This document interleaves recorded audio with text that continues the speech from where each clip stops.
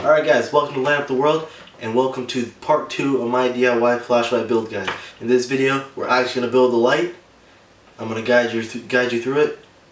Really in-depth tutorial. So, let's get to it. First things first, the materials and tools you're going to need. Here's the list.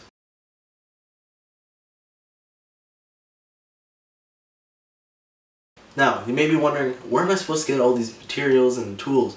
Well, let me tell you. The best place to purchase all these things is from Mountain Electronics. Link is going to be in the description and probably up on the screen. They have the greatest selection, greatest price, best place to buy it. They actually provided the parts for this build, so thanks a lot to them. Make sure to go check out their website. Best place to buy all the components that are used in this build.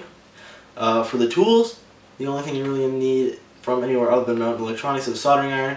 And you can buy that even at Walmart, Canadian Tire, wherever you are. So, let's get going. Alright, so let's get to the build. So the first thing we're going to do is get the parts prepped. So we'll take the enclosure. You want to unscrew the front. Take the back half, put it away. You don't need it right now. And then this little silver diffuser on the front. Unscrew that the lens and reflector assembly will also fall out. And put that all to the side. This is what we're going to be working on right at the beginning.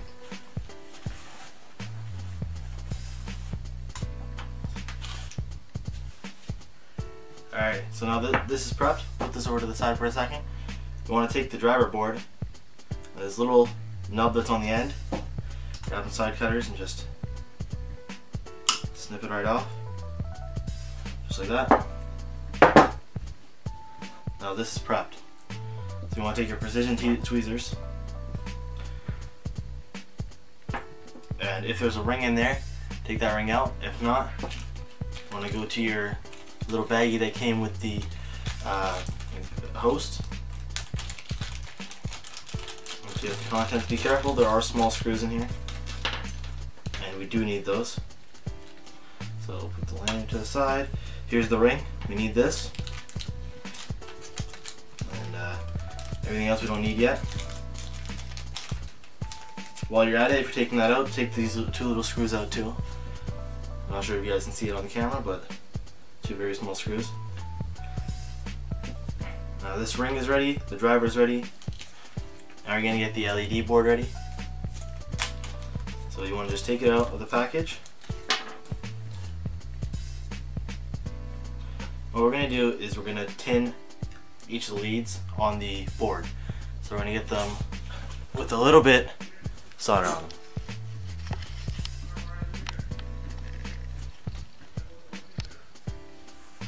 It's a little more zoomed in now. You have a small bit of solder. So your soldering iron is ready.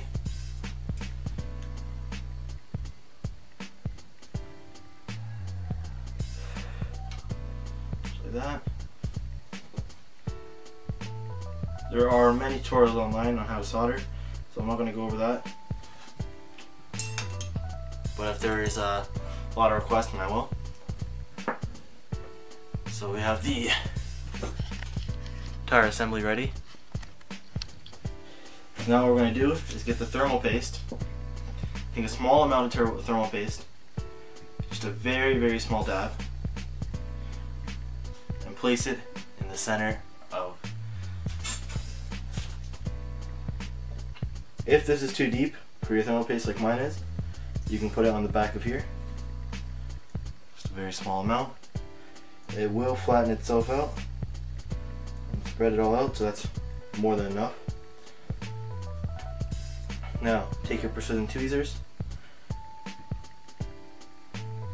grab each end. You want to line it up. As you can see, there are four notches in the board itself, and there are four holes inside of there.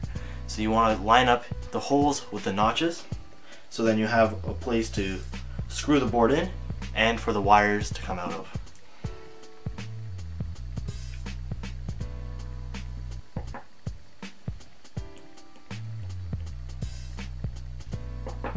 Just like that.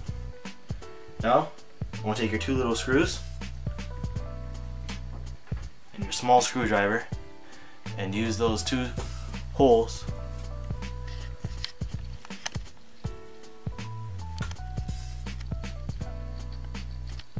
and screw the two screws into the small holes.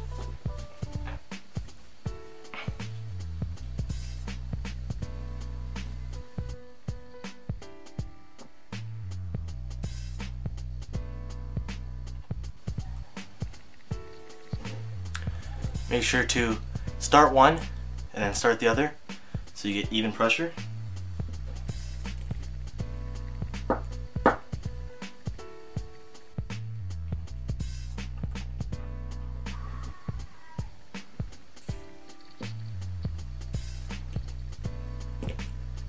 Don't tighten it too much, just enough. Now the driver is in place. Next thing you want to do is flip this over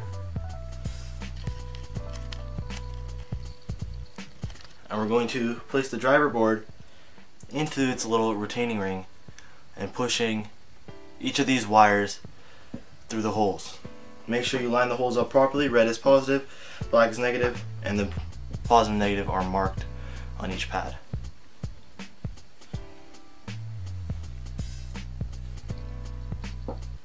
Need it, if you can't get your fingers in there, then you can use your tweezers to help you out.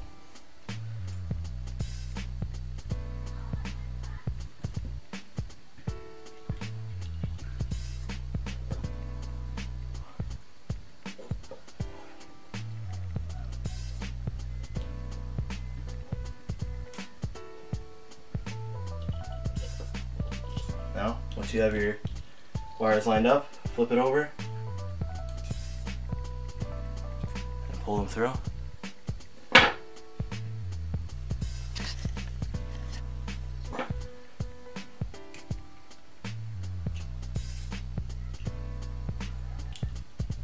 The driver board should just line itself up.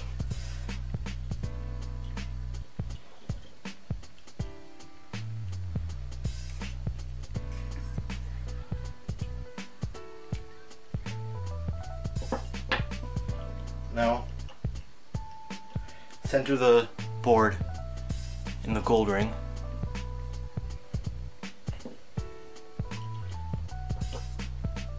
Hold it down with your finger. Grab your ring. Make sure that your threads are facing the right way. It should have two holes on the top. Just drop that in. Use your tweezers. One end of the tweezer in each hole.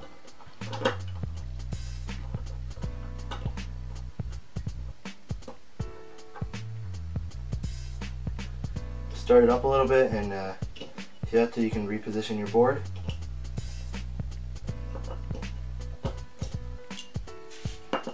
This can be possibly the hardest part of the entire build. Sometimes the driver board just doesn't want to get positioned properly, so just keep trying at it. One tip is to use your finger to hold it in place and use the tweezers around the, around your finger. And once you have it in, flip it over and what you want to do is push the wires back in. I'm trying to get a good light on there. So you want to take the red wire and black wire and push it in and then realign it so that the tip is on the connection. So push it in so it's the extra is down into the little compartment between the driver board between the driver board and the actual thing itself actual LED itself and you want to bend it over and then just put a little bit of heat on it using the soldering iron and it should be able to solder right back in place.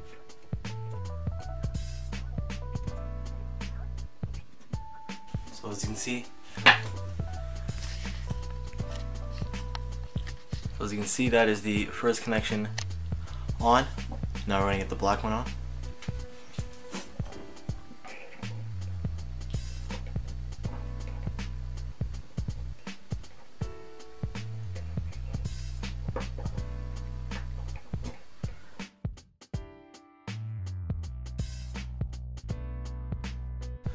They're in the best connections, but they're on. Now what you want to do is go back into your little bag. Go back into the bag that it came with. And there should be a little white ring.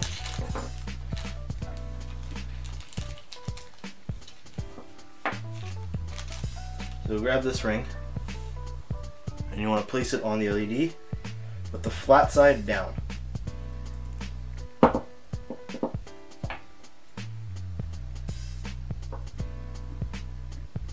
It's not going to fit perfectly around the LED, but it's good enough. Then you want to take the reflector, place it on like that, take the lens,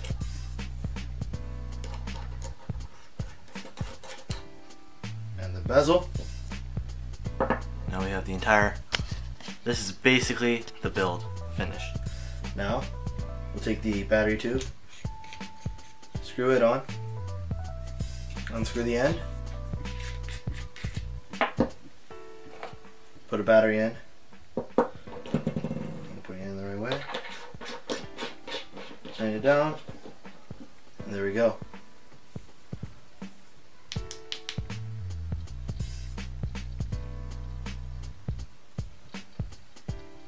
Quite a lot of power coming out of there. Man, that is bright.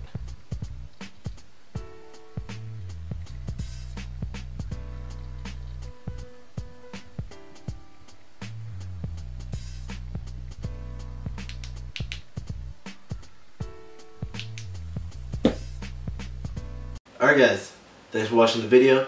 Hope you guys liked it. I know this video is long overdue. Part 1 came out almost a week ago from this video. And uh, make sure to subscribe, hit that like button, make sure to leave a comment on the next build you want to see. I'm thinking of doing something pretty extravagant, way more powerful than this guy.